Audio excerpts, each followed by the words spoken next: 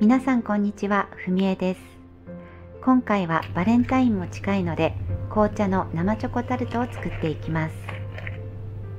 無塩バター 70g を滑らかなクリーム状にします。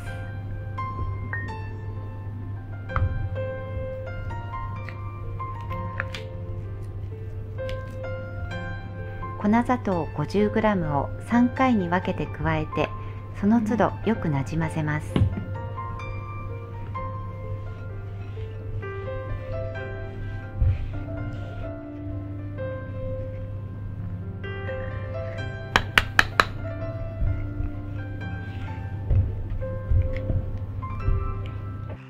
ハンドミキサーの低速で2分ほど混ぜて少し白っぽくします。タルト台がサクッとした食感になります。溶き卵 35g を3回に分けて加えてその都度完全に滑らかになるまで混ぜます。分離しないように卵は常温のものを使います。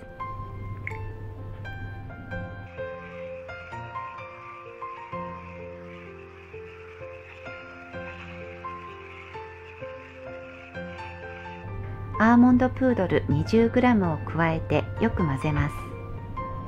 ダマを潰すようにしながら滑らかになるまで混ぜます。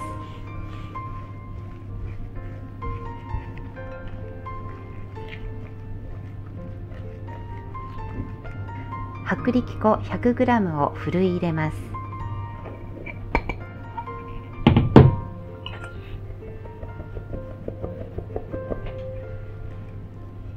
切り分けるように織り交ぜてポロポロの状態になったら紅茶を加えます。紅茶はアールグレー 4g です。切るように織り交ぜて粉っぽさがなくなるまで混ぜます。ゴロゴロとした大きな塊になれば混ぜ終わりです。全体をすりつぶしていきます。こうすることでタルトの生地が破れにくくなります。生地を真ん中に集めてひっくり返します。あと2回すりつぶします。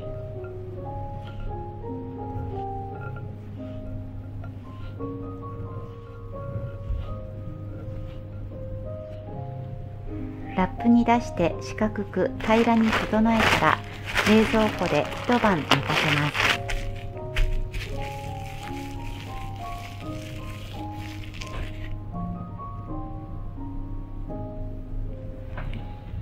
一晩寝かせた生地を6等分にします。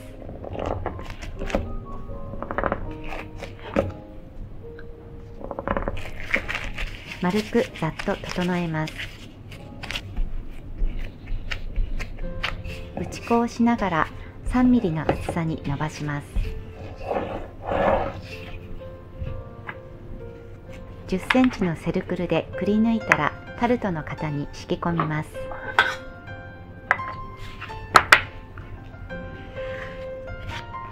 破れないようにそっと置いて側面を軽く押しながらぴったりと敷き込みます。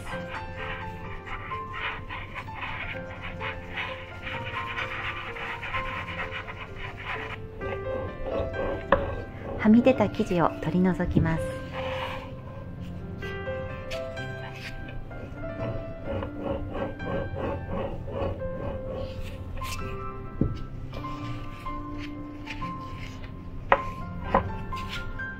底全体にピケをしたら冷蔵庫で30分ほど冷やします。この時オーブンは190度に予熱しておきます。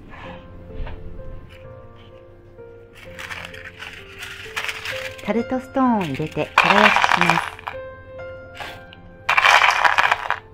オーブンを170度に下げて10分から13分縁がうっすらと色づくぐらいまで焼きます。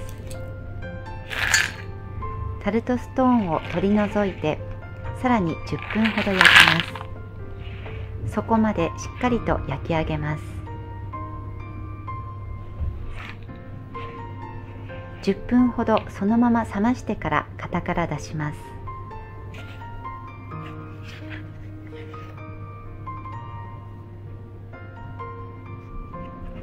完全に冷めたら溶かしたホワイトチョコを塗ります。こうすることでタルト台のサクサク感が長持ちします。冷蔵庫で冷やしておきます。ミルクチョコガナッシュの材料です。チョコレートはあらかじめみじん切りにしておきます。紅茶の風味を消さないためにチョコレートはダークチョコではなくてミルクチョコを使います。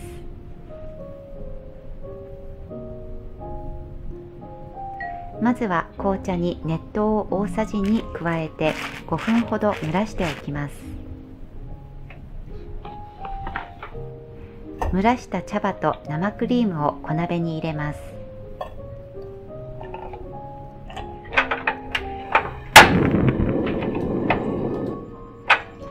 沸騰直前まで温めます。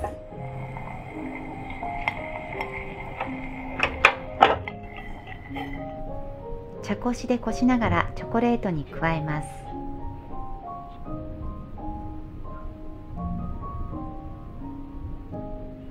茶葉はしっかりと押してクリームを絞り出します。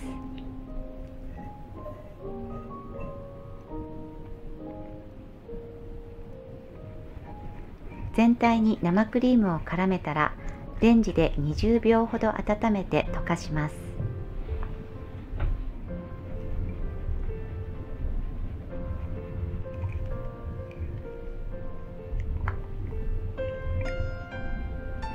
ターを加えて滑らかになるまで混ぜます。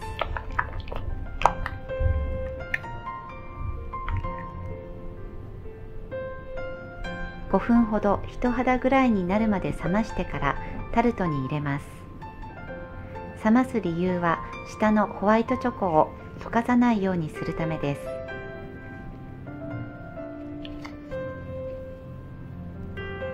ある程度平らに整えたら冷蔵庫で1時間冷やし固めます。ホワイトチョコガナッシュの材料です。チョコレートは先ほどと同じようにあらかじめみじん切りにしておきます。紅茶と生クリームを合わせてレンジで20秒ほど温めます。一旦かき混ぜてさらに10秒温めます。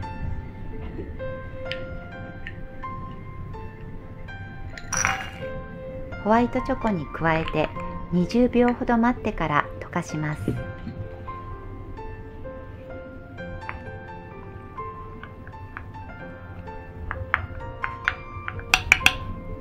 レンジに20秒ほどかけて完全に溶かしきります。こちらのガナッシュは冷まさずにすぐにタルトに流します。その方が表面がきれいに仕上がります。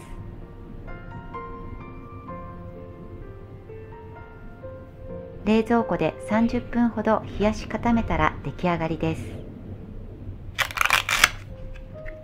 タルト台にもガナッシュにも紅茶が入った紅茶尽くしの濃厚な生チョコタルトです。紅茶は香りの残りやすいアールグレーがおすすめです。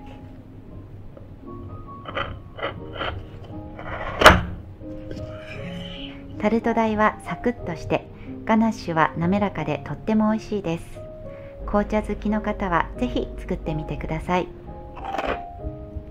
では次回またお会いしましょう。